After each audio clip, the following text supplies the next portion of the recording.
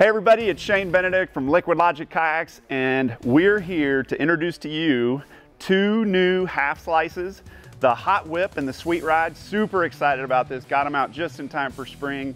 And uh, tell you what, I wanna give you a little walkthrough, give you the whole walkthrough of these boats and uh, we'll just start up at the front and work our way through the tail.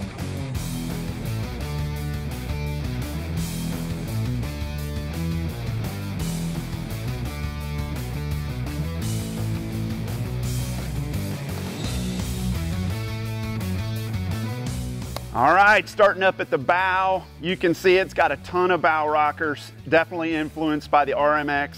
Um, allows you to get up and over features in the river, makes it a nice, forgiving river running bow.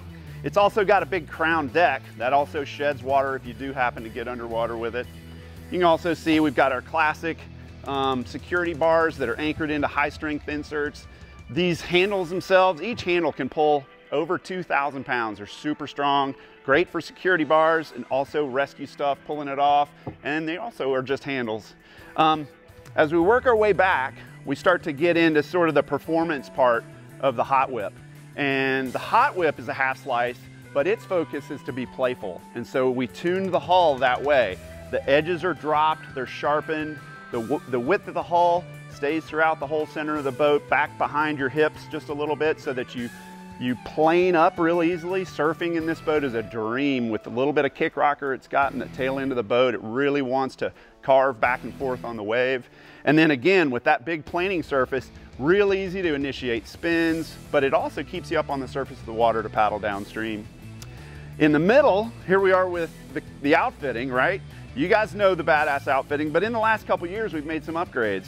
We've got a, a new Cordura fabric on the outside that um, lessen some of the abrasion some people were seeing in our older outfitting, but it's also water repellent Cordura that keeps it from absorbing water.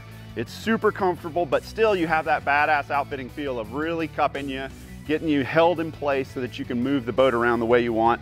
Obviously everything is super easy to adjust just like it always has been, but we're excited about the, the new material as well as the new foam insert that we put in the bottom in the seat pan gives you just a little bit more padding than the old version. And then the thing I like to point out that some people overlook is the shoulder pad. We walk into the Green, we walk into the Chattooga, we walk into all these rivers, and this shoulder pad just makes it so comfortable to carry the boat. And I think a lot of people overlook that, one of the really nice features about Badass Outfitting.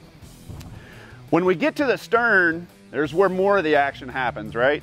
So the stern keeps a little bit of volume behind the seat, so you are up on the water. You know, that'll help you kind of squirt through things, skip skip down drops, um, but then it drops down really flat really quickly.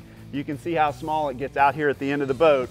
And again, that's so you can initiate that stern super easy for all the different moves, whether you're, whether you're stern squirting or blasting or splatting or all that, but it also makes it just a super sweet surf boat because the water on the back of the wave piles on the back, helps you just carve around, slip through the wave.